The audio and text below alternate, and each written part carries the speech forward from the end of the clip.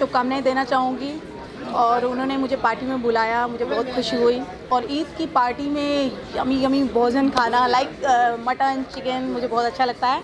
और थोड़ी देर में हम लोग इंडिया, हमारा इंडिया जीतने वाला है, उसका जश्न भी हम यहाँ मनाने वाले हैं। तो सबको ईद की बहुत बहुत मुबारक हो।